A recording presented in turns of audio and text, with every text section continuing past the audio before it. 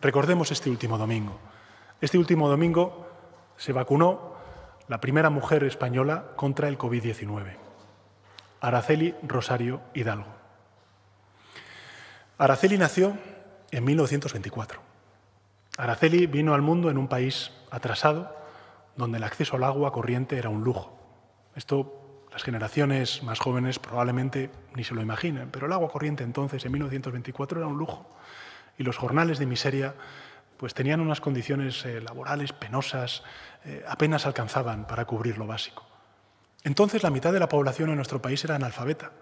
14 de cada 100 niños nacidos a la misma vez que Araceli murieron antes de cumplir dos años.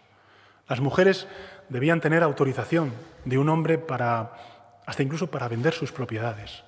Ese era el punto de partida de los nacidos en el año 1924.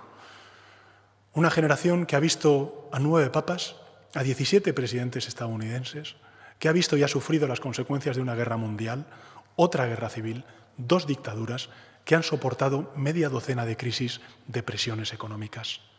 Y desde hace 42 años, Araceli la generación que ella representa vive en una nación plenamente democrática, que crece, que prospera, que cuenta con servicios públicos que protegen a todos y construyen país. Un país democrático, un país europeo, de mujeres cada vez menos sujetas a discriminación. España puede volver a conseguirlo.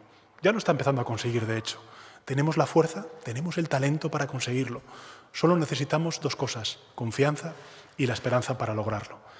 Les deseo en 2021 pues un año de esperanza, lleno de salud, de salud, de prosperidad y de felicidad para ustedes y para los suyos.